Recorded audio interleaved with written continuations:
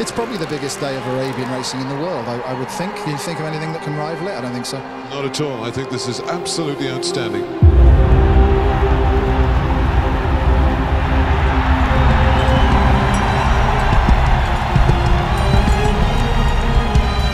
Oh, Still running onto the far side. Al Muhanad has her nose in front, and it's a third win in the Jebel Ali Racecourse, the Bid International for Al Muhanad.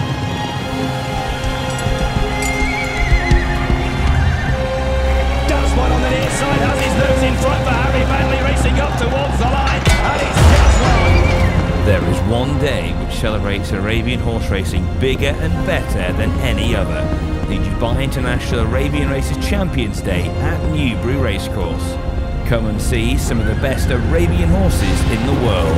It's Aksan in front as they race up towards the line, and Aksan will win in the colours of his Highness Sheikh Hamdan Al Maktoum.